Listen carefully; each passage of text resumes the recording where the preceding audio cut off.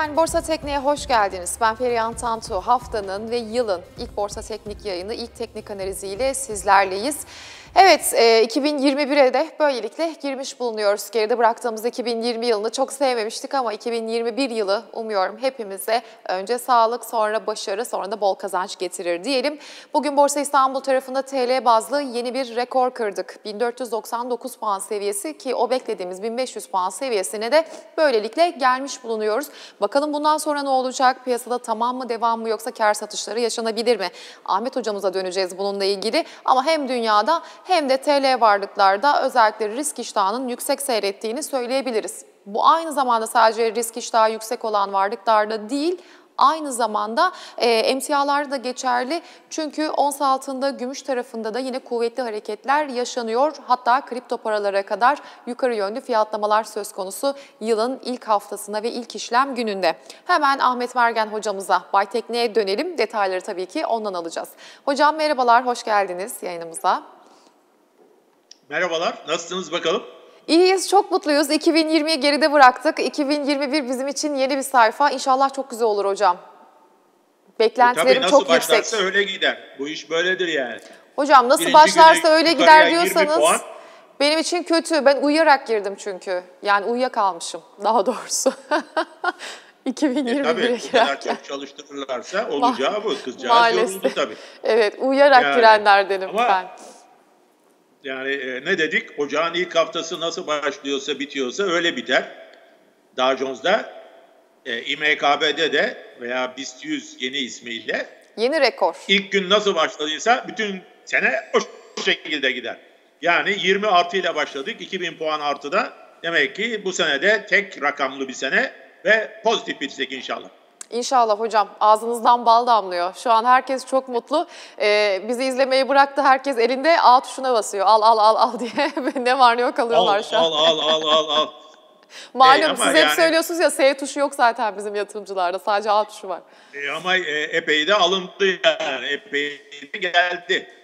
Şimdi yani e, e, böyle bankalar bankalar diyoruz. İşte bankalar hala ayakta tutuyor. Geldiler artık. Büyük kağıtlara geldiler son zamanlarda. E, yabancı takası biraz arttı galiba. Yani hala 50'nin üzerine çıkamadı. Ama son bir aydır e, yabancı e, para girişi zaten, var. E, ya %60'a çıktığı zaman bu gidişle e, endeks 180 olur o zaman. Tabii 2000'i görürüz herhalde %60 olunca yabancı ya, e, 180 bine gider o zaman bu endeks bu durumda. Yani %60'ın üzerine çıkarsa buradaki takas %47'lerde mi? 48'de 50'nin altında değil mi? 49 hocam. Heh. Oradan %62 63'e çıktığı anda ver elini 180 bin olur burası. Geleceği yerler eften püften yerler değil ki. Yani geleceği yerler belli. Yani taksi var beklemede ama 16 16 buçuncu işte 16. köşeyi dönüyor artık. O sokaktan ayrılıyor Telekom şirketi. Yani 17 buçuğa doğru yolcu. İstediğin kadar yırtın. Hep öyle diyorum yani algoritmalar malgoritmalar. İyi kardeşim gün içinde al al ver al ver al al al ver. En sonunda 14 liradan sen 16 buçuk 17'ye geldin mi? Geldin. Bekleyen yani Parayı gene kazan. kazanacak senden. Sen istediğin kadar çırpın, uğraş algoritmayla yani milleti tokatlamaya çalış tabiri caizse yemezler. Orada bekleyen balı nerede satacağını biliyor kardeşim. O kadar. Sabrı, sabırlı olan. Yani her şeyin belli bir gider yeri var. Telekomu alıyorsun, veriyorsun, alıyorsun, veriyorsun. 805, 810, 810, 15'e götür, 808 kapat, ıvır zıvır falan filan. Bugün nerede? 870. Nereye gidiyor? 9.5, 10 arasına gidiyor. Muhtemelen çanağı katladığında. Yatırımcı bekleyecek. Sen istediğin kadar tahtada kademelere 100 bin yap, 150 bin yap, şişir, aşağı ver, yukarı al falan filan. Bekleyen o rakamı eninde sonunda geleceksin karşıma. 9,5-10 liraya alışı yazdın mı tak bir tokatta sen yersin orada. Verirsin gider adama. Sabırlı olmak lazım. Her şeyin belli bir gideceği yer var. Hocam, İstediği kadar. Yani milletle dalaşıp 200 lirayı gördü neredeyse Türk, Türk Traktör. Bugün 198 lirayı gördü bekleyene. Daha ne yapsın bir Şimdi hisse? 198'i Ahmet Hocam sen gördün mü deseler yok kardeşim. 198 bin olacağını görmedim ben. Göremedim. Kağıt 25 liraydı. Tamam 85'ten geldi. 25'e geldi. Türk tarımının hali, Türk ekonomisinin durumu bilmem ne. E kardeşim bu kağıt gitse gitse 65-70. Hadi 80'e geldi diyelim. 85'e. E tepe orada. Onu da biraz aşırttılar 100. 180, 190. Orasını ben göremedim. Ama ben buraya 800 bin 700 bin mi ne yeni yatırımcının buraya dalacağını da tahmin edemedim. Niye? Normal şartta gelmez kardeşim 700 bin kişi. 20 senedir gelmemiş şimdi mi gelecek? Niye geldi? Salgın. Faizler düştü. Kapattın her tarafı. Millet dışarıda iş yapamadı. 5 kuruş para kazanamıyor. Esnafı, mesnafı, şusu, busu işsiz kalan herkes 20 bin, 30 bin, 50 bin, 200 bin lira parasını aldı soktu buraya. Hı hı. Alakasız yerlerde alakasız hareketler oluştu. Niye oluştu? Bu yeni paranın buraya girişiyle oluştu. Yani. E şimdi de o para burada kaldığı sürece belli bir yerde endeksi tutuyor. Buna bir de yani yabancının satışını bile karşıladı o yeni giren para. Yabancının yüzde 62, 64, üçlerden yüzde 50'nin altına inen satışını bile karşıladı. Düşemedi endeks. Yani yabancıyı da anlamış değilim. 65 liraya tüpraşı vereceksin. E 6 ay sonra döneceksin 120 liradan tüpraşı geri alacaksın. Ne biçim portföy yönetimi bu kardeşim ya? Ama yabancı hocam, yabancı olarak da böyle böyle portföy yönetimi mi olur? Yabancı Ama hocam yani dolar bazlı bir... baktığınızda aslında yabancının da teknik olarak çok fazla kaybı yok. Çünkü geçen yılın e, başında biz aşağı yukarı hep 5.30'ları falan konuşuyorduk. Hadi 5.80'leri e, yani o da şimdi 5.80'den gelmiş kurda neredeyse 8 liraya. Parayı 8 yani liradan 2000'de... geri bozdurup öyle geliyor aslında yani. Oradan kazandı geri. 2018 falan hani o yıllarda tepede falan satmış olsa 30 bin dolarda 15 bin dolar endekste 13 bin dolar endekste malı geri almış olsa eyvallah. E şimdi aldığı yer 20 bin dolar civarında yavaş yavaş. E gene karda hadi olabilir değil. Ama 12.500 dolara inmişken ne satacaksın ya? Aksine orada alsan bugün dolar bazında %50 para kazanmıştın yabancı olarak. 13 bini al, 20 bin dolara sat. E, iyi para. Dolar bazında nerede kazanıyorsun sen Amerika'da böyle parayı borsada? Ama bizde kazanılıyor. Yani e, yani o e, kağıtların bazıları işte yani 17 lira 20 lira olan kağıt aldı başını 130 lira. Öteki tarafta 35 lira olan kağıt ki kimse uğramaz yani almaz bile. Gayrimenkul yatırım ortaklığı. Lot yok bir şey yok. Kimse de uğramaz. E, o da aldı başını. Ta nerelere gitti. Başı B ile başlayan başka bir yatırım 600 liraya vurdu. Ne 600 lirası ya bu kağıt? Yani şirketin e, bir tane şirketi var. O zaten 10 liralarda falan dolaşırdı. Kendisi de bunun işte sıksan sıksan 20-30 lirada dolaşır. E 600 lira oldu. Olabiliyor demek ki. Yani bazı kağıtları soruyorlar. Hocam bu kağıt 500 liraya gider mi? Vallahi bu görüntü içinde gidemez diyemem kardeş. Yani koskoca arabanın freni 150'den 1500'e gidiyorsa bilmiyorum artık arabanın kendisi nereye gider. Arabanın kendisi de gidiyor zaten hocam. Sadece freni değil. Lastik, mastik, e, arabanın freni kendisi ne varsa alıyor. Lastikleri de alıyorlar. Ne varsa alıyorlar. Hiçbir şey şaşırtmaz yani. Girdi mi para oraya, lot da yok, şey diyor, alıyor götürüyor. E, yani e, yatırımcı da eğer kazandığı para varsa artık e, belli bir parayı da e, kendine tutsun canım. Yani onu da geriye iade etmesin yani. Alarak vererek, alarak vererek İnşallah. testere piyasasına 2021'de en büyük temennimiz bu. 2020'de e, yatırımcıların inşallah. %80'i para kazandı. Lütfen bu parayı geri piyasaya teslim etmeyin. Yani emanet Aynen. olmasın, sizin yani olsun. o lafı söylemek istemiyorum. Ben demiştim hikayesini. Ben demedim artık diyeyim. Yani o, o pozisyona girmeyin. O pozisyona düşmeyin artık. Zararları ufak tutun. Belki bir müddet iş yapmayın. Yani şey olarak. Devamlı olarak borsada olmak gibi bir zorunluluk yok. Alışveriş her gün yapma zorunluluğu yok. Ha, her gün alışveriş yapmak bir tutku haline dönüşüyor. Alışveriş yapmadan duramıyorsun. Ya, o da ayrı bir hikaye. Ya, o da bir adrenalin ya. O da bir istiyorsun onu yani. Alıştığın zaman. Böyle al- alışveriş yapmadan durursan sanki o gün Boşa geçmiş gibi oluyor hocam. boşa geçmiş. Tuhaf bir şey oluyorsun ya. Boşta kalırsın. Bu borsa işi böyledir. ya hocam bize borsayı öğret. İşte biz de borsaya girelim. Yani onlara tek söyleyeceğim şey şu. Bu borsa işi kararı ona göre verin. Herpes virüsü gibidir. Herpes vücuda girer. Ne olduğunu üç aşağı beş yukarı herkes bilir. Dudaktaki uçuktan tutun işte değişik yerlerdeki e, su çiçeği bilmem ne. Bu vücuttan gitmez. Ölene kadar sizde kalır. Gider bir yere uyur.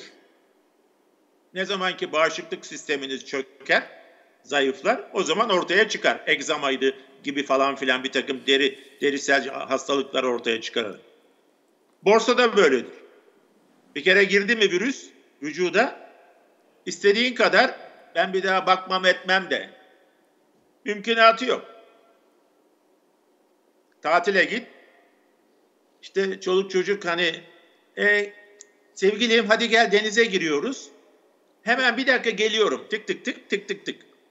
Hemen bir televizyon kamerası, anten nerede veya elde telefon var şimdi. Devamlı fiyatlar takipte. Yapamazsın Hocam bir şey soracağım. Siz de öyle misiniz mesela? Ben açık konuşuyorum. Ben öyleyim. Yani ben tatil falan yapamıyorum. Bana zehir oluyor. Bir saniye bile E ayrılamıyorum biz artık e, e biz artık bir dereceden sonra mecbur kalıyorsun. Birisi açıyor telefonu bir şey soruyor. E, sen piyasadan bir habersen olmuyor. Hemen de yaftayı yapıştırırlar. Heh, kitap yazmış da bir halt da bildiği yok. Estağfurullah. E, bilmiyoruz tamam peki sen çok biliyorsun aferin sana. Yani borsacılar şunu yapamıyor hocam. Ben bir hafta telefonumu kapatıyorum, hiçbir şeye de bakmıyorum, Yapamaz. inzivaya çekiliyorum gibi bir şey mesela gerçek bir borsacı için mümkün değil. Yok yok mümkünatı yok. Onun için yani buraya girerken ederken bu riski göze alarak girin.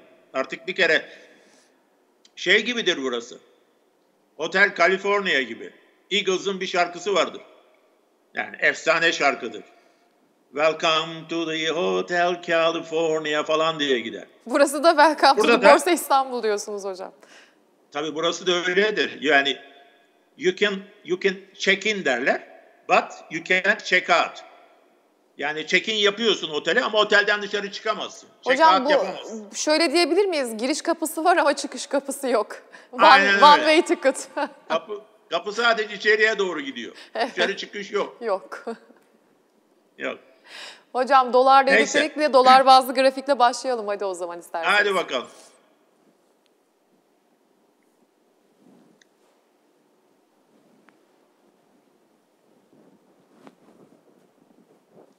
Vallahi pek göremedik. Göremediniz mi Nerede hocam? ekranda? Şu an dolar bazlı grafiğimiz ekranda. Siz görebiliyor musunuz hocam? Evet biz o zaman nelere bakacağız hemen bir üzerinden geçelim. Ahmet hocamıza tekrar bağlantı yapılmaya çalışılıyor. Borsaya tabii ki önce dolar bazlı bakacağız sonra TL bazlı bakacağız. Sizden özellikle gram altın sorusu çok fazla gelmişti. Birazdan gram altına değerlendireceğiz. Ardından ons altın ve gümüş var. Hisselerde ise emlak konut bugün zaten BIST 30 tarafında güne en yüksek hacimle başlayan da hisse olmuştu aynı zamanda. Emlak konut var. GYO'lardan Özak çok sorulmuştu. Özak GYO'da bakacağız. Türk Hava Yolları ve Çelebi ikilisi var. E, ulaştırma sektöründen. Onun haricinde Sabancı Holding ve Alarko'ya bakacağız. Anadolu Grubu Holding var. Yine sizden çok gelen sorulardan birisiydi. Sasa yine çok sorulardan sorulanlardan birisi de Jansa'ydı. Jansa'ya da bakıyor olacağız. Kortsa, Parsan, Ereğli, Odaş, Karel, Gübre ve vaktimiz kalırsa görüyorum. da bakacağız. Hocam beni görüyorsanız bir kez daha o zaman grafiği ekrana verelim. Umuyorum bu sefer grafiğimizi görebilirsiniz. O zaman dolar bazlı grafiğimiz Evet, bir şimdi kez daha grafiği geldi. görüyoruz. Harika. Grafikte uzun vadeli aldık dolar bazında. 2013 senesinin Bernanke'nin tapering dediği doları dünya piyasalarından artık geri çekme operasyonunun başladığı tarih. Mayıs ayı. Bütün dünyada dolar hareketlenmeye başlıyor artık. Bizde de o zamanlar bir buçuk lira olan dolar oradan sonra devamlı olarak yükselmeye başladı. Yükseldikçe bizim piyasada tabii dolar bazında aşağı gitmeye başladı. Zaten TL olarak aşağı giderken bir de dolar yukarı gitmeye başlayınca bizim piyasa iyice aşağı yönde bir eğim kazandı. Mavi renkli alan düşüş kanalı. Dipleri birleştiriyoruz, tepeleri birleştiriyoruz. Şu anda sarı renkli alanda bu mavi renkli alanın içinde bir yatay alan. Artık fiyat aşağı taraftaki mavi renkli kanalın alt çizgisine gelmemeye başladı. Ne zamandan itibaren? 2018'in sonundan itibaren. 2019'un başında zaten salgın falan derken buraya da yavaş yavaş para girmeye başladı. Fiyat yatay alan içinde yukarı tarafta 20.500 21.000 dolar aralığı aşağı tarafta da 12.500 13.000 dolar aralığında yaklaşık işte 13 e, 7500 8000 puanlık bir alan içine dolar olarak girdi. Şimdi bunun tekrar üstüne doğru gidiyoruz. Yalnız bu yatay alanın üstüne doğru giderken aynı zamanda 50 bin dolardan gelen ve 32.400'den geçen o kanalın üst çizgisine de yanaşıyoruz. Orada iki taraftan birden direnç var. Hem yatay alanın üst tarafı 21 bin dolar civarı hem de tepeleri birleştiren ana trend çizgisinin direnci var. O mavi çizginin üzerine çıkıldığı zaman 21 binin de üzerine çıkıldığı zaman başka bir dünya başlıyor. İşaret olarak. ben bunun bu şekilde gerçekleşeceğini uzun zamandır söylüyorum. Zaman zaman beni bu ülkede hayal kırıklığına uğratan ya bir şey olmayacak galiba gibi bazı düşüncelere sevk eden hareketler oluyor. Gereksiz. Ama gene de yani ümidimi kesmiş değil. Hala yukarı yöndeki hareketin gerçekleşeceği konusunda inancım var. Buradan yukarıya 27 bin dolar, sonrası da 32 bin 500, 32 bin dolar aralığıdır. Oradaki tepedir. Burası uzun vadeli bir düşüşün sanki baş kısmı oluştu. Sol taraftaki dipler yaklaşık 23 bin ile 19 bin 800 iki tane dip var orada. Daha ziyade 22 bin dolar civarında sol tarafı oluştu. Tobonun, büyük Tobonun. Şimdi baş kısmı oluşuyor. Buradan yukarıya 32 bin dolar civarındaki boyun çizgisine doğru bir hareket gerçekleşecek bana göre. Önümüzdeki 1-2 yılı kapsayacak şekilde. Sonra bir geri çekilme sağ omuz için. Ondan sonra 32 bin, 32 bin 500 direncinin kırılmasıyla bir sonraki çanak 40 binde tamamlanacak. 2023 falan gibi. Biraz zaman alacak bu iş. Benim senaryom uzun zamandır anlattığım şekilde iç içe giderek büyüyen mergenin matruşka çanakları. Teker teker tamamlanacak yukarıya doğru. Zaman içinde. Yani stop nerede? Stop 50 haftalık ortalamanın olduğu yer. Yeşil renkli. Kırmızı yeşili yukarı yönde kesiyor. Golden Cross oluyor. Ha, burada dirence çarptığı için sağ tarafa doğru yıkılabilir biraz. Vakit geçirebilir. İşte dolar biraz zıplar. Veya endeks biraz geri gelir falan filan. Ortalamalar yukarı doğru döner. Eğer o ortalamalar fiyatı aşağı gitmesi de engel olup fiyatı yukarıda tutup bir sonraki hamleyle daha ziyade yabancıların gelişi olabilir yukarıdan aşağı doğru tepeyi birle iki tepeyi birleştiren direnç çizgisi kırıldığı anda yatay alan kadar yukarıya gitmesi lazım teknik olarak. Yani 7500 dolar. E 21'in üzerine 7500 işte 27500 28000 dolar asgari hedef. Evet. Bunları gösterdik. Hocam bu uzun senaryo. Bir de kısa senaryoya bakalım. Şimdi dayandık 1500 sınırına. Peki günlük grafiğimizi alırsak ekranlara TL bazlı günlük grafikte ne yapmak lazım?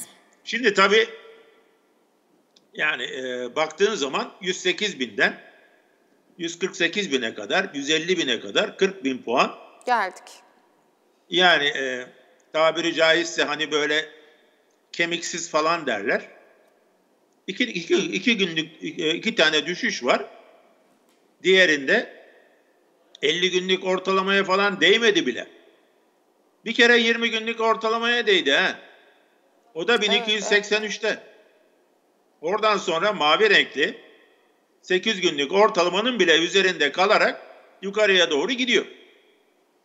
Ee, Apollo Ay'a giderken 2-3 kademeli ateşleme yapıyordu. Yani belli bir hidrojen tankı var. Yakıt tankı. O stratosferin üzerine kadar çıkartıyor modülü. Orada bitiyor. Tak kopup atıyor uzaya. İkincisini ateşliyor.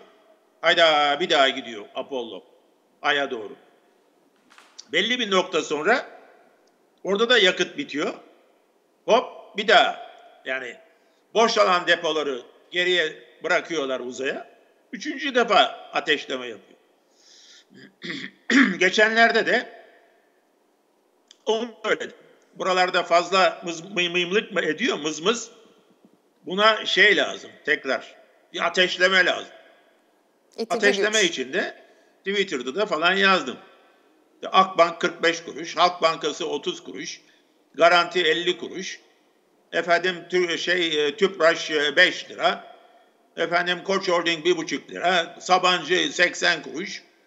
Efendim Şişe Cam 35 kuruş. Böyle bir günler oluyor. 5000 puan falan çıkıyor bir anda. Kimsenin 5 kuruş para kazanamadığı alışverişte. Çünkü alamıyorsun.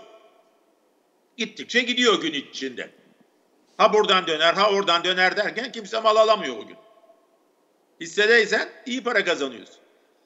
Dünden hissede, hissedeysen. Ama öyle bir ateşleme lazım ki ortalamalardan biraz daha kendisini kaldırsın yukarıya. Aşağıda biraz yastık bıraksın. Düş, düşüş için. Şu anda yavaş yavaş ona doğru bir hareketlenme olabilir mi? Olabilir.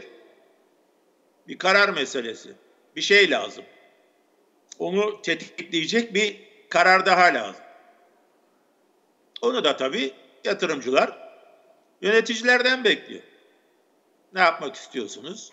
Şimdi e, swaplar falan da şeffaf hale geliyor değil mi? Evet hocam. Evet. Yani çeşitli atamalar falan filan var. Eh. E, yani ben Boğaziçi mezunuyum. Gerisini söylemeyeyim. Geçelim. Geçelim hocam. Gram altın 8 günlük mi? ortalamanın altına giderse o zaman İsteyen, isteyenler satabilir. Yani daha ne anlatayım ki bilmiyorum artık. Daha dahası nasıl anlatılabilir? Orası gram altın. 458 lira hocam şu an. Yani burada da hem dolar kuru, TL kuru hem de gram altını yukarıya aşağı götüren getiren altının dünya piyasalarındaki ons bazındaki fiyatı. Ons altın çarpı dolar kuru bölü 31.1. Bu eşittir TL olarak gram altının fiyatı. Çünkü 31.1 gram eşittir 1 ons. Alt taraf değişmiyor. Üst tarafta iki tane değişken var. Dolar TL ve altının ons fiyatı. Altın bugün 1850'lerde falan kalmış olsaydı dolar TL'nin aşağı doğru gidişiyle burası 420'lere doğru sürüklenebilirdi. Yukarı nasıl gitti? Dolar 8.58'i vurdu. Altın 1900'lerin üzerinde kaldı. Evet, gram altında 540'ı vurdu. Oradan sonra dolar TL roket gibi aşağı gidince 8'in altına çünkü faizin e, artışı falan artık beklentisi oluştu. E, şey de aşağı doğru gidince ons altın 1764'e doğru gitmişti galiba. Orada çakıldı aşağıya. Şimdi bunun tekrar yukarı gitmesi için 50 günlük ortalamanın üzerine çıkması lazım. Yani 465'in 475 civarında, 73 civarında da tepe var.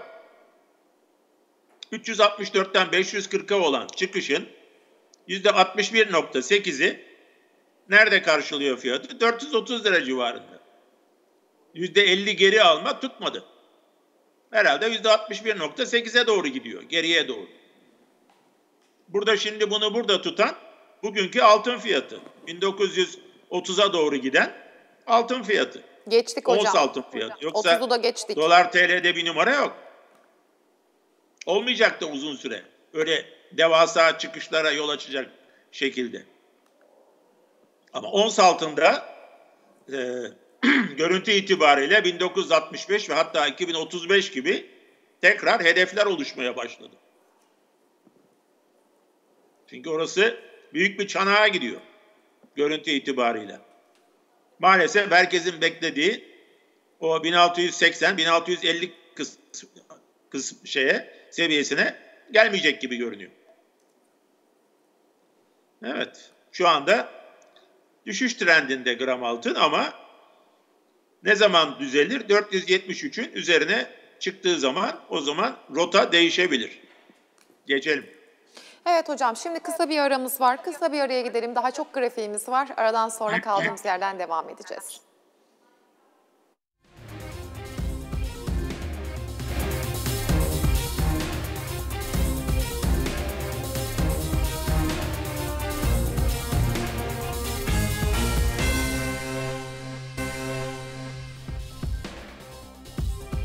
Evet Borsa Teknik'te kaldığımız yerden devam ediyoruz. Bugün GEO'lar hareketledik o zaman hemen emlak konutla başlayalım hisselerimize. Hocam ilk sırada emlak konut var ardından da özel GEO bakacağız ama emlak konutla başlayalım isterseniz. Evet EKGEO yani burası 1 liralar civarından 2,5-2,40'a kadar geldi. Zamanında biliyorsunuz 25 filandı bu kağıt. Uzun süre bu düşüş trendine girdi. Yatırımcıyı bayağı üzdü, eziyet verdi. Daha sonra neyse toparlandı 2.40 ama orada da pek durmadı. Gelen satışlarla yaklaşık 1.70 civarında 2-3 tane 3 tane dibi var. Oraya doğru yanaştı. Bırak 5 1.63'ü o yani silkeleme herhalde. Normalde 1.70 civarında alıcı geliyor. Oradan sonra tekrar ortalamanın üzerine atınca çanağı tamamlama ihtimali var. Yani 2.40'a tekrar gitme ihtimali var. Ama önce 2.26 ve 2.23 gibi iki tane tepe var orada. Aşağı tarafta da 1.94 var. Ortalamanın üzerinde kaldığı sürece yani 2.12'nin üzerinde kaldığı sürece burası 2.23'e bakılır. 2.23, 2.24'e geçildiği anda 2.40'a kadar tutulabilir satıcı orada gelecektir muhtemelen 2-2-40-2-45 aralığında. Çünkü orası çanağın tamamlanma direncinin olduğu yer. Çanak tamamlandığı zaman genelde teknik olarak satıcılar belirir. Ortalamanın üzerinde e, yani vagonda kalıp beklemek lazım 2.23'ün geçilmesini. Artık 2.03'ün altına bir daha inmesin yani yeter. Sıkıntı verir. Başka tarafa gitmekte o zaman yarar var yani. Fazla uğraşılamaz bu kağıtla. Yatırımcı olarak. Yani ben pek alıp satmıyorum. Bilmiyorum yani. Şey olarak e, çok ağır aksak gittiği için heyecan vermez yani bir sürü yatırımcıya. Neyse geçelim. Geçelim hocam. Takip bir de Özak tarafına var. bakalım GEO'larda. Burası daha gitgelli.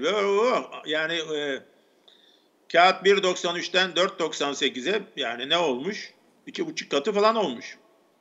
Oradan sonra aşağıya bir kanal içinde gidiyor. Tepeleri birleştir, dipleri birleştir. Ama bu kanalın içinde bir fincan ve kulp gibi bir hareket var. Mavi renkli alan fincan desek, yeşil renkli alanda kulp desek, fincan ve kulp bu sarı renkli yatay alanın içinde oluşuyor. Şimdi yatay alanın yüksekliği kaç? Yaklaşık 3.88, 4.90 yaklaşık 1 lira. 5 liranın üzerine 1 lirayı koyarsak 6 lira. Oraya kadar gitmiş mi? Gitmiş 6.06. Zaten oraya yaklaştıkça kanalın üst trend çizgisiyle karşılaşıyor. Burada da satıcı var. İşin kulp kısmı yani bir anlamda karşılanmış, katlamış kendisini. Oradan satış gelmiş. Fincan kısmı tam anlamıyla katlayamamış ama o bir sonraki harekete kalmış galiba. Ee, 4.97 20 günlük ortalama. Bu aynı zamanda yatay alanın üst tarafı. Yani asansör artık 4.97'deki o kata bir daha inmesin. Üst kata çıktı. Üst katta kal. Bir kere daha yukarı doğru git, gideceksen. Tekrar yatay alanın içine girerse kırmızının altına e bu sefer 4.70-4.69'a bakılır. 50 günlük ortalamaya. Orada da zaten durur herhalde. Çünkü alt taraftan trend desteği de geliyor. Dipleri birleştiren. Onlar kombine, ikisi kombine bir şekilde. Kırmızının altına giderse fiyat. ikisi yeşil okla beraber oralarda bir yerde düşüşü durdurmaya çalışırlar. Trend kanal içinde yukarıya. Yeter ki 4.98'in altına gelmesin. O zaman bir kere daha zıplayabilir. Ama 6 lirayı hemen geçeceğini zannetmiyorum. Satıcı gelmiş. 5.80, 5.90'da gitse bile orada satıcı bir kere daha gelir. Çünkü 6.06'daki tepeyi artık görüyorlar yani biliyorlar. Geçelim. Geçelim ve Türk Hava Yolları diyelim hocam. 12.90. Bugün negatif seyrediyor piyasanın aksine. Negatif bir ayrışma evet, var. Evet burası Türk Hava Yolları. Bu mavi renkli alanda aşağı aşağı kayarken aşıyla ilgili, ilaçla ilgili salgını durdurabilecek gelişmeler olduğu takdirde en fazla etkilenen sektörlerden birisi olarak havacılık sektöründeki kağıtların hepsi uçar dedik. Geldiği anda o şey. E, aşılar arka arkaya geliyor. Şimdi Oxford'unki var. Yüzde yüzmüş galiba. BioNTech'in dışında. Ötekinde biraz çok fazla yani şey e, yorumlar falan oldu bilmiyorum. Ama burası tırmanmaya başladı. Nereye kadar geldi çanak? 13.30'daki tepeye geldi. 13.25'i gördü. Şimdi ortalamanın üzerinde kalmaya çalışıyor yani 20 günlüğü. Kalabilirse 12 ile 13.25 arasındaki ufak bir çanak daha var. Onu katlayabilir. O da 1 lira 25 kuruş. O zaman ne edecek? 13,5, 14,5. Yani yukarıya doğru tırmanmaya çalışıyor. Şimdi yeni mutasyonlu virüs çıktı ortaya. Türkiye'de gene, de görüldü. Gene uçuşlar falan durduruldu galiba. Geçici de olsa. E fiyat da durdu. Dur bakalım ne olacak. Türk Hava Yolları uçuşları durdurdu benim bildiğim. Londra uçuşlarını. Gerçi Türkiye'ye mutasyonlu virüs gene geldi bir şekilde. Yani erken davranılmadı ve geldi. Neyin nesiyse. Şimdi çanak yukarı yönde geçildiği takdirde direnç o zaman 15 buçuk, 15 buçuğa, 15 20, 15 e, 35 aralığı bir sonraki çanak olacak. bir sonraki direncin olduğu yer olacak. Gelir mi? Gidebilir. Çünkü artık aşılarla beraber e, dünya tekrar normale dönmeye çalışacak. Her ne kadar bir takım şeyleri bize empoze ettilerse de gene de bir anda her şey yıkılıp bambaşka bir dünyaya o kadar kolay dönüşüm olmaz. Alıştıra alıştıra olur bir sürü şey. Yukarıya doğru gidiyoruz. Trend yukarıya. Evet hocam Çelebi diyelim ortalama Türk Hava Yolları'ndan sonra. Artık stop orada. Bugün yüzde beş Esas eksi burası. ama giden gitti. Yani havacılık sektörü şu bu. Çelebi buyurun 60 liralık Çelebi nerede? 190 lirada. E, uçacak dedik ama. E, Doko da böyle gitti. 315-320'lerde bugün 600 lirada kağıt. Yani bunları önceden senaryoyu düşünmek lazım. Biraz da tabii cesaret, biraz da tabii en önemlisi para lazım. Yatıracak para lazım. Yoksa bilirsin de paran yoksa ne yapacaksın ki? Gözünün önünde gider. Yatırmadığın sürece. Burası da o düşüş kanalından 67'ler civarında bir yukarı doğru tırmandı. 120 ile 98'i birleştiren tepenin üzerine çıktı. Ondan sonra bir daha kırmızı renkli 20 günlük ortalamanın altına indi mi? İnmedi. Sonra ne oldu? Sonra Apollo projesi oldu. Roket. Ha, kulübüne uydurmak istiyorsan evet nereye gidebilir? 120 ile 46 arasında çanak var diyelim. Yarım daire. Aradaki fark ne kadar? 75 lira. Doğru mu? 45 olsa 120'ye 75 liraydı. Evet. 120'nin üzerine 75'i koyduğumuz zaman 195.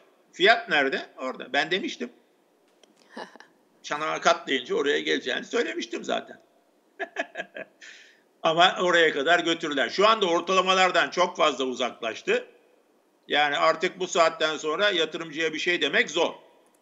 Yani ortalama 135'te fiyat 190'larda. Arası çok açıldı. Çok açılınca da risk yeni alanlar için risk büyüyebilir. Dikkatli olmak lazım artık alım düşünenler için konuşuyorum.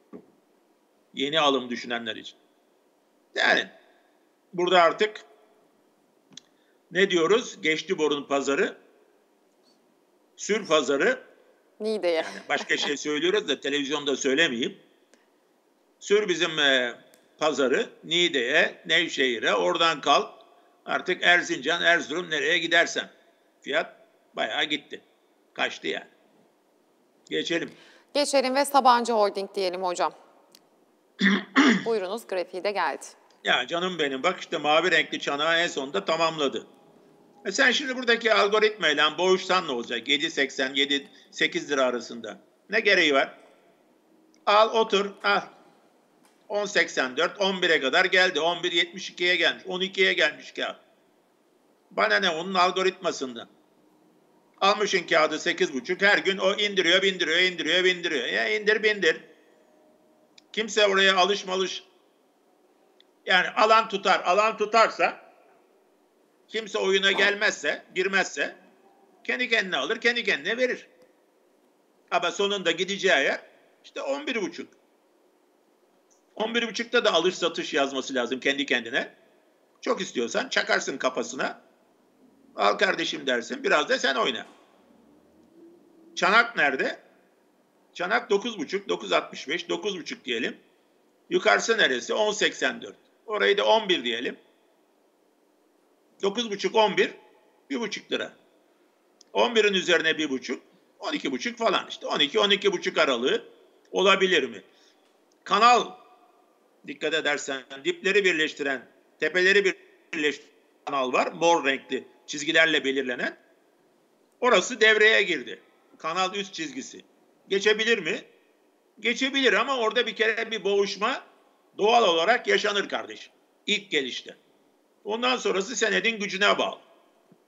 Eğer geçerse sol taraftaki tepelerden başlayarak bir tane daha paralel çizgi çekeriz yukarıya doğru. Bu sefer o çizgide bekleriz satıcıyı. Satıcının geleceğini. Geçelim. Trend yukarıya. Hadi hocam Alarko diyelim. 8.66-67 Alarko'da fiyat. Yine bir kopan grafik burada da görüntüsü. dipleri birleştirdik. Mor renkli çizgiyle. Bir tane paralel çizgi aldık. 5.97'ye koymamışım. Koysam 6.87'den geçerdi o çizgi. Ama orası büyük bir mumla geçildi. Marubozo. Boyu uzun bir mum. O direnç geçildi. O zaman ne yapıyoruz? Paralel çizgiyi götürdük. 5.34, 6.44 tepelerini birleştirecek şekilde oraya yerleştirdik. Uzattık. Tepede fiyat 10 lira civarını gösterdi. Kanal direnci orada, üst çizgi. Oraya geldiği zaman orada bir boğuşma yaşanacaktır. Hem de aynı zamanda ortalamadan da çok fazla uzaklaştığı için o çizgiye değdiği zaman birdenbire giderse orada mutlaka satıcı gelir. Ortalamadan çok fazla uzaklaşmamak lazım. Fiyatlar genelde ortalamayla beraber yukarı aşağı giderler. Arada sırada aykırılıklar olursa onlar tekrar fiyatlarla ortalamaların birbirleriyle buluşmasıyla son bulur. Trend yukarıya. Kanal içinde. Kanalın üst çizgisi direnç kardeşim. Çıkış kanalı içindeyiz. Bir de çanağın katlanması var. 3.30, 6.30 desek 3 lira. Koyduk mu 3 lirayı yukarıya? 9.30, 9.50. Eh. Kanalın üst çizgisi de zaten bizi orada yakalayacak. Eğer çanak da katlarsa yukarı yönde. Trend yukarıya geçelim. Geçelim ve Anadolu Grubu Holding diyelim isterseniz hocam. Anadolu Grubu Holding'de %1 artı 26 e, 72 şu an. Burası genelde 30'a yaklaşınca satıcı gelir. Tepeler orada. Burada da dipleri birleştiren mor çizgi. İkinci çizgiyi nereden çizdik? 22.10'dan geçecek. Oradaki tepeden geçecek şekilde. Yeni tepeyi yakaladı mı? Yakaladı. Biraz daha devam etseydi Üçüncü üstteki mor çizgiye. Onun üstünde de 21 gördün olduğu tepeye koyarak bir çizgi çekecek. E iyi de çizgi çeke çeke mutlaka bir yerden dönecek diyecekler vardır tabii ki. E bu işte böyle kardeşim. Her işin bir kuralı var. Yani inanmıyorsan kendi bildiğin şekilde portföyünü idare edersin. Yani kimse sizi bunlara zorlamıyor. İlla bunu takip edin falan filan denmiyor. Biz sadece bir yöntem var. Dünyada belli insanlar tarafından kullanılıyor. Kimine çalışıyor. Kimine göre fasarya. Olabilir. Yani kimine göre fasarya olan şey başkalarına göre size gayet rahatlıkla bir takım fiyatları size gösterebiliyor. Neler yapabileceğinizi söyleyebiliyor. Başkaları size daha fazla iyi bilgi veriyorsa nerede tepe olup nerede dip olabileceği konusunda o yöntemi takip edin ya. Kimse elinizi kolunuzu bağlamıyor arkadaşlar. Ortalama 25-20'de. En kısa vadeli ortalama 20 günlük orada. Fiyat onun üstünde. Yalnız kanal üst e, direncine yaklaştıkça zaten eski tepede 29'lardadır. Orada satıcı gelir. Hı hı. Hocam, Destek daha ziyade 22,3 civarında desek daha iyi olur. Hocam Ama Sasa diyelim mi? Yukarıya. Bu arada. Geçelim. Sağlara geçelim. Sasa diyelim. %2 primli 20.60 Sasa'da şu an fiyat. Sasa'da. Dipleri birleştirelim. Mavi renkli çizgi. O çizgiye paralel bir çizgiyi alalım. 10.69'a koyalım. 17.67 falan filan böyle bir kanalımsı bir durum var. Yukarı giden bir çıkış kanalı. Yalnız 22-18'de kanalın üstüne bir çıktı. Tutunamadı geri geldi. Bir daha denedi. Ee, gene oralarda boğuşuyor. Demek ki kanalın içinde kırmızı renkli, kırmızı renkli o 20 günlük ortalamadan da destek alarak biraz daha böyle yukarıya doğru hafiften hafiften tırmanacak. Daha sonra sağa doğru kaykılacak muhtemelen. Yani güç toplayıp bu kanalın dışına bir üst kanala geçebilmek için. Temeli olarak da iyi ama görüntü çıkış kanalı içinde yukarıya doğru trend eden bir kağıt. Uzun vadeli stop 18'in altı 50 günlük ortalamanın üzerinde kaldığı sürece uzun vadeli trend yukarıya. Kısa vadeli trendde 20 günlük ortalamanın üzerinde senet. Öyle mi? Öyle. E, içinde kalacaksın. Buradaki tek sıkıntı ikinci tepenin birinci tepeyi geçememesi. O biraz satış getirir. Yani biraz korku yaratır. İkili tepem oluyor falan gibi. Hı hı. Evet, kanal üst çizgisi de direnç zaten. Orada satıp 50 günlük ortalamada geri almayı, sattıklarının bir kısmını geri almayı düşünenler olabilir. Bazıları malın üçte birini satar çizginin orada. Fiyat düştüğü zaman o üçte birini yerine koyar. Ne oldu? Temettü aldı bir anlamda. Şirket temettü vermese bile orada temettüsünü almış olur. Ya da lotunu arttırır. Hisseyi satıp aşağıdan yerine koyarak. Aradaki farkı da onun kendi yarattığı temettüdür yatırımcının. Geçelim. Hocam Jansa diyelim tavana gidiyor 358 lira. Arabanın jantı 349 lira mı oldu? 58. Buyurun. Hocam. Nasıl? 358. 358. Evet. Yani kağıt 70 liralardan sonra iyice gaza bastı. Lotlar az büyük ihtimalle ve hızlı hareket ettirilebiliyor. Etkin gruplar kağıda sahip oldu muhtemelen. Ve kağıt yukarıya doğru çıkış trendi içinde. Hala yukarıya doğru sürüklüyorlar. 500'ler kulübüne gider mi? Valla e, ya olmaz diyemem. Çünkü bizim piyasada artık olmaz diye bir şey yok. Olmaz olmaz.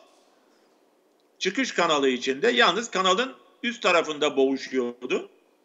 358 ise şu anda 349 da geçmiş. O zaman bir üst kanala kendisini atıyor demektir.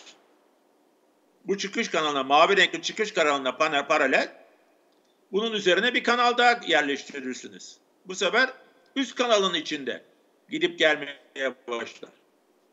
Üst kanalın üst çizgisi direnç, alt kanalın üst çizgisi üst kanalın alt çizgisi olacağı için orası da destek olur.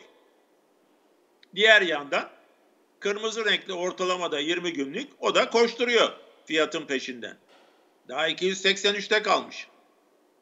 Ama o da hızla destek vermek için fiyatı peşinden fiyatın koşuyor. Beni bekle diye çığır çığır çığırarak. Ama fiyat isyankar demek ki. Ortalamayı falan dinlemedi. Bastırdı gidiyor sol şeritten. Trafik polisi ticket yazmasın, ceza kesmesin sana sonra sürat fazla süratten. Geçelim. Trend yukarıya. Ve Kortsa diyelim hocam 15.54, 15.55. e şimdi Kortsa'da dipleri birleştiren bir çizgi var. Mor, trend desteği. Çıkış kanalının alt çizgisi. Ona paralel çizgi. Tepeye koyduk mu 13-13'ün olduğu yere. Fiyatı yakaladı. 14.96, 16, 16 falan o tepeleri yakaladı. Ama aşağıdan da kırmızı renkli 20 günlük ortalama geliyor. Korkma ben geliyorum. Dayan yetiştim diye. Bağıra bağıra. Günlük ortalama biraz geride kaldı. O yaşlı çünkü. Koşamıyor yeteri kadar. O daha uzun mesafeli koşucu. Sürat yapamıyor. O da geliyor. Beni de bekleyin diye. Ama en kısa vadede kırmızı geliyor yardıma. Satıcılara karşı. Burası aşılırsa o zaman 15.39'daki eklediğimiz mor renkli öteki paralel çizgide girer. Yani bu çıkış kanalının bir nevi aynısı yukarıya katlar kendisini. Üst kanalda işlemler görülmeye başlar. Evet. 15.39, 15.50 diyelim. Aşağıda 7.95, 8 diyelim. 8, 15.5, 7.5 lira değil mi? 7.5'u 15.5'un üzerine koyarsan yaklaşık 22-23 eder. Zaten gelecekte üst kanala değdiği zaman muhtemelen bu büyük çanakta katlanmış olur. 22-23 civarı hedef olabilir. Türkiye ekonomisi geliştikçe bu fiyatlar yukarı gidecektir. Gayet doğal. Ha ekonominin gelişmeyeceğine inanıyorsanız o zaman boşuna konuşuyoruz. O hedefler gerçekleşmez. Geçelim. Hocam Parsan diyelim %6,5 primdi. 25.86 Parsan'da fiyat. Burası da otomotiv sektöründe. fiyat. Dipleri birleştiren çizgi var. Ona paralel tepeleri birleştiren bir çizgi alırsınız, koyarsınız. Dört tane tepeyi yakalamış. Şu anda fiyat 21.68 ile 25 kaç orası? 24. Yani 22-25 desek 3 lira. Bu buradaki ufak çanağı yukarı yönde katlarsa 27,5-28 civarı hedef olabilir. Ama oraya gitmesi için de kanal üst direncini, üst çizgisini geçmesi lazım. Ortalamalar 23 ve 22'de destek veriyor. 20 günlük ve 50 günlük üstel ortalamalar. Çıkış trendinde kanalın üst çizgisini geçme teşebbüsü olabilir. Çünkü burada da etkin bir yatırımcı veya bir grup var yıllardır. Gene galiba devredeler herhalde ki yukarıya doğru fiyatı götürüyorlar. Ha, daha büyük kanal 17.50-24.50 kanalıdır. Yani oradaki çanak. E orası ne eder? 7 lira eder. 24'ün üzerine 7'yi koyarsan 31 lira civarı olur. Ama o biraz daha uzun vadeli. Gerçi bu kağıtta zaman zaman çok enteresan hareketler olabiliyor da fazla da bir şey diyemiyorum. Zaman zaman çok hızlı hareketler olabiliyor yukarı yönde. Çok volatil. Geçelim. Hocam Ereğli diyelim. İsteğe Bugün bağlı. negatif. Eşref saati. 14.91 Ereğli'de fiyat. Evet. Ayşe ile Zübeyde'nin incredible, inanılmaz performansı. E gidecek ya. Türkiye'nin de bir tane Ereğlisi var kardeşim. 9.5, 9.70, 6.60. Hocam bu kağıt gitmiyor. Hocam bu kağıt gitmiyor. Kardeşim senin adın Sabri. Sabırsız Sabri'sin de onun için gitmiyor. Şimdi ne oldu? Sesler gitti. Fıs. Ortalık sessizlikte. Niye? Kağıt 16 lira oldu. Yani 9.70, 6.70 çanağı yukarı yönde katlasa 3 lira. 12.70. Ne 12.70'i? Kağıt 15.70 oldu neredeyse. Trend yukarıya. Kırmızı renkli ortalama senin stopun. Üzerinde kaldığı sürece vagonda kal kardeşim. Bakalım belki de ekonominin diğer tarafları da canlanırsa endeks yukarıya gidecekse bu kağıtlarla gidecek. Belli mi olur? Belki 20 lira olur. 20 lira olsa ne olur? Öyle 7 3 dolar. Ne zaman da bu kağıt 3 doları görmedi mi yani? Gidin bir bakalım bakalım. Geçelim. Hocam bir dakikamız var. Kapanışı gübreyle yapalım mı? Gübre fabrikaları geçtiğimiz yılın BIST 30 yıldızı malum. Evet. Ee, Houston, Houston. We have a takeoff. Yani burada da Cape Canaveral'dan havaya uçan bir roket de burada var. Roket formasyonu. Aynı şekilde 2.80'den. Hocam bu kağıt 88 lira olacak deseler yok artık. yani yok artık LeBron James derdim. Yani çoğu kişi de herhalde öyle demiştir. Yani gübre fabrikaları tamam. 8'lerden 8.5'lardan 2.5'a indi. O sülfat mülfat işi dolayısıyla amonyum sülfat mı neyse yani karışık işlerde kullanılıyor. Terör işlerinde falan. Ondan dolayı yani Kısıtlama gelmişti. şunlar bunlar hep inmişti aşağıya. Ama buradan tekrar 8.5 hadi 10 15 olsun. Ondan sonrası daha ziyade madencilik sektöründeki gelişmelerle galiba gazı iyice aldı. Sektör değiştirdi bir anlamda ve fiyat çok hızlı gitmeye başladı. Ortalamadan çok ayrıldı. Daha da yukarı gidebilir mi? Ee, her şey mümkün. Yani yatırımcı bu yatırımcıya burada iner mi çıkar mı demek çok zor Çok kardeşim. zor. Yani kimse bilemez iner mi çıkar mı. Oradaki grubun ne yapmak istediğine bağlı. Evet hocam böylelikle yayınımızın sonuna geldik. Yine grafiklerimiz kaldı ama süremiz bitti. Süremiz bitti hatta açtık bile. Ağzınıza sağlık hocam. Çarşamba günü görüşürüz o zaman. Hadi inşallah bakalım. Evet efendim endeks bu arada 1499.86 puan seviyesini test etti. 1500'ü görebildik diyebilmeyi yayında en azından çok isterdi ama maalesef göremedik. Yarın yine aynı saatte sevgili Selçuk Gönençler'le sizlerleyiz. Görüşmek üzere, hoşçakalın.